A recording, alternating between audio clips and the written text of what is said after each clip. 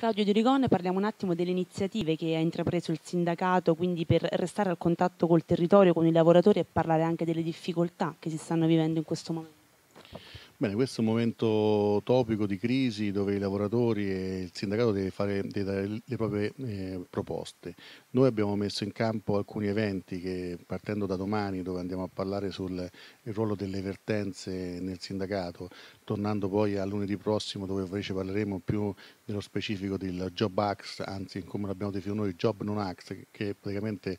regole non per il lavoro, insomma, regole non per l'azione. Dopodiché ci sarà un altro evento a Catania, sempre il 26, sul, sul, sul TPL e l'evento ancora più importante che sarà quello del, del 30 sulla mancanza di rinnovi contrattuali che purtroppo è un problema che ci affligge in questa nazione. 9 milioni sono senza un contratto.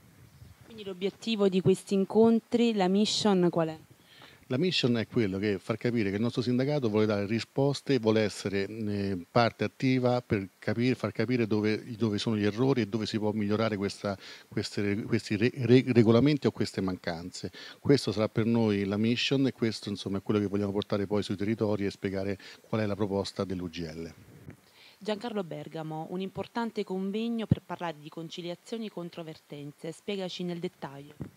Sì, è un'iniziativa che abbiamo pensato di organizzare proprio sulla base di una, di una sentenza della Corte di Cassazione del, dell'aprile scorso, dove su un ricorso presentato dall'Inps nei confronti di, un, di un'azienda, credo del credito, eh, il, la, la, Corte ha stabilito sostanzialmente che eh, i crediti eh, oggetto di transazione che vengono, risultano anche come rapporto di lavoro, seppure alla fine naturale del rapporto possono, debbono essere soggetti a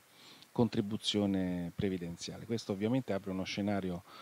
importante sul quale noi vogliamo per l'appunto discutere in questa iniziativa dove abbiamo invitato due avvocati giuslavoristi, probabilmente la presenza di, una, di un funzionario della direzione territoriale del lavoro di Milano e stiamo attendendo, ma dovrebbe essere presente anche un funzionario dell'Inps, proprio per metterli a confronto e vedere ognuno dai propri punti di vista quello che può cambiare nell'ambito delle nostre attività. In questo contesto quali saranno le difficoltà per il sindacato? Difficoltà le vedremo durante questo convegno perché insomma tramite questi esperti cercheremo di capire come cambierà e come potrà cambiare eventualmente il nostro ruolo di sindacalisti. Chiaramente ci aspettiamo insomma di avere idee più chiare perché questa sentenza che devo dire per certi aspetti è passata anche un po' diciamo così sotto traccia, in realtà può aprire dei scenari nuovi anche per, per, per il sindacato Sappiamo tutti che il sindacato è un soggetto molto importante quando assiste il lavoratore nella chiusura di, di, di rapporti di lavoro che tendono diciamo così, a chiudere in maniera bonaria quello che è avvenuto durante il rapporto di lavoro. Chiaramente questa sentenza, adesso vedremo di studiarla ancora con più attenzione, potrebbe aprire scenari anche diciamo così, diversi da quelli di adesso, ovvero sia potrebbe capitare che il lavoratore magari a fronte di, questa, um, di, nuovi, di questo nuovo scenario, ma soprattutto l'azienda, vedersi che i costi, diciamo così,